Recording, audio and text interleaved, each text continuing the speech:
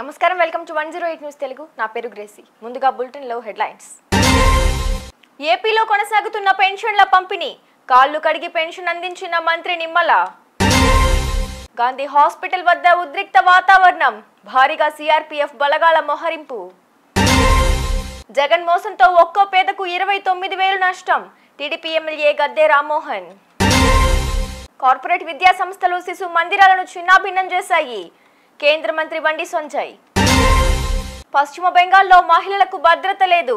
దీదీ సర్కార్పై JP Nadda fire. Srikakulam జిల్లా కోటబొమ్మాలి మండలం వాండ్రాడ గ్రామంలో మంత్రి అచ్చెన్నాయుడు పర్యటన. డ్రగ్స్ సరఫరాపై కఠిన చర్యలు తీసుకోవాలి. సీఎంకు బీఆర్ఎస్ ఎమ్మెల్యే వివేకానంద్ గౌడ్ లేఖ. ఏపీలో పెన్షన్ల పంపిణీ కార్యక్రమం జరుగుతోంది. ఈ సందర్భంగా మంత్రి నిమ్మల రామానాయుడు పశ్చిమ గోదావరి జిల్లా ఏలమంచులి మండలం అటవీపాలెంలో అనారోగ్యానికి గురైన లారీ డ్రైవర్కు తొలి పింఛన్ అందించారు. ఇదే గ్రామానికి చెందిన పెదపాటి భాగ్యలక్ష్మి కాళ్ళు కడిగి మంత్రి నమస్కరించారు. అలాగే పాలకొల్లులో లబ్ధిదారులకు నగదు అందజేశారు. కూటమి ప్రభుత్వం ఇచ్చిన ప్రతి హామీని నెరవేరుస్తుందని మంత్రి తెలిపారు. టీడీపీ కూటమికి చారిత్రాత్మక విజయాన్ని అందించిన రాష్ట్ర ప్రజలకు రుణపడి ఉంటామన్నారు. ఎన్నికల ప్రచారంలో ప్రజలకు ఇచ్చిన మాట ప్రకారం పెన్షన్లు పంపిణీ చేస్తున్నామని ఆయన స్పష్టం చేశారు. ఇక ప్రతి నెల పెరిగిన పెన్షన్ లబ్ధిదారుల ఇంటికి చేరుతుందన్నారు. నిరుద్యోగుల సమస్యలపై నిరుద్యోగ జేఏసీ ఉద్యమ నాయకుడు మోతీలాల్ నాయక్ గాంధీ ఆసుపత్రిలో ఆమరణ నిరాహార దీక్ష కొనసాగిస్తున్న విషయం తెలిసిందే. మోతీలాల్ నాయక్ను పరామర్శించేందుకు ఆయా పార్టీల నేతలు ఉద్యమకారులు గాంధీ హాస్పిటల్కు తరలి వస్తున్నారు కానీ వీరిని పోలీసులు అనుమతించడం లేదు. ఈ నేపథ్యంలో గాంధీ హాస్పిటల్ వద్ద ఉద్రిక్త వాతావరణం నెలకొంది. స్థానిక పోలీసులతో పాటు సిఆర్పీఎఫ్ బలగాలను మోహరించారు. గాంధీ ఆసుపత్రుల్లోకి వెళ్ళే ప్రతి ఒక్కరిని పోలీసులు తనిఖీ చేసిన తర్వాతే హాస్పిటల్లోకి పంపిస్తున్నారు. మీడియాపై కూడా పోలీసులు ఆంక్షలు విధించారు. హాస్పిటల్ గేటు బయటే మీడియాను నిలిపివేశారు. లోపలికి అనుమతి లేదంటూ పోలీసులు చెబుతున్నారు. విజయవాడ తూర్పు నియోజకవర్గంలో పెన్షన్న పండుగను ఎమ్మెల్యే గద్దె రామ్మోహన్ ప్రారంభించారు. వరలక్ష్మి నగర్ నాగార్జున నగర్ పోలీస్ కాలనీల్లో పేదలకు స్వయంగా గద్దె రామ్మోహన్ పెన్షన్ అందజేశారు. ఈ సందర్భంగా ఆయన మాట్లాడుతూ ఈరోజు చంద్రబాబు సారథ్యంలో రాష్ట్రంలో పెన్షన్ పండుగ ప్రారంభమైందన్నారు. కేవలం రాజకీయ లబ్ధి కోసం జగన్ బటన్ నొక్కారన్నారు. పేదల సంక్షేమమే ముఖ్యంగా చంద్రబాబు వారి ఇళ్ళకు వెళ్ళి ఇస్తున్నారన్నారు. జగన్ రెండు నుంచి మూడు వేలు చేయడానికి ఐదేళ్ళు తీసుకున్నారు. జగన్ మోసంతో ఒక్కో పేదకు ఇరవై తొమ్మిది వేలు నష్టం చేశారన్నారు.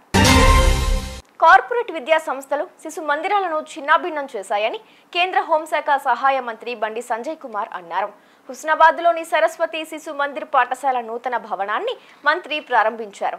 ఈ సందర్భంగా ఆయన మాట్లాడుతూ సంస్కృతి సంప్రదాయాలకు శిశు మందిర్ పాఠశాలలు నిలయాలని కొనియాడారు. భవిష్యత్తు తరాలకు మంచి మార్గంలో బోధన అందించేందుకు ఈ పాఠశాలలు ఎంతో దోహదపడతాయని సంజయ్ చెప్పారు.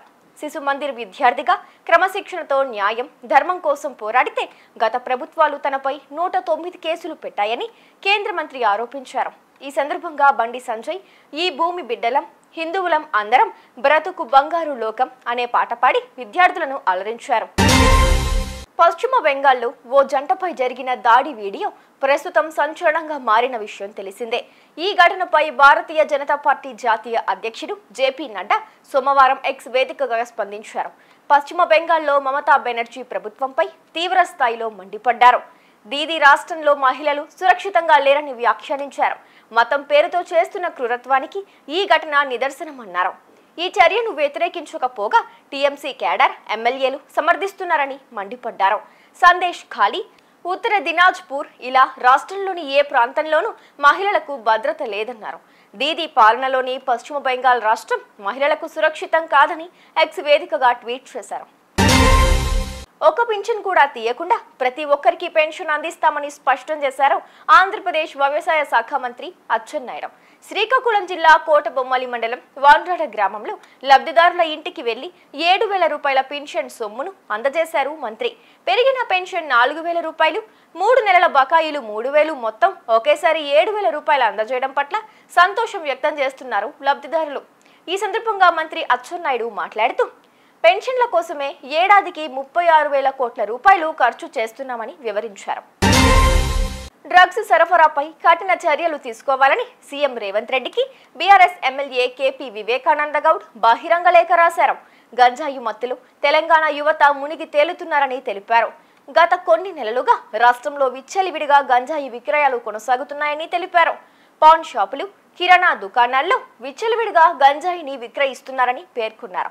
దీంతో యువత గంజాయి సేవిస్తూ భవిష్యత్తును అంధకారంలోకి నెట్టేసుకుంటున్నారని ఎమ్మెల్యే తెలిపారు. చూసారుగా ఇవి ఇవాళ బులెటిన్ అప్డేట్స్. మరో బులెటిన్తో మళ్ళీ మీ ముందుకు వస్తాను. అంతవరకు keep watching one zero eight news Telugu.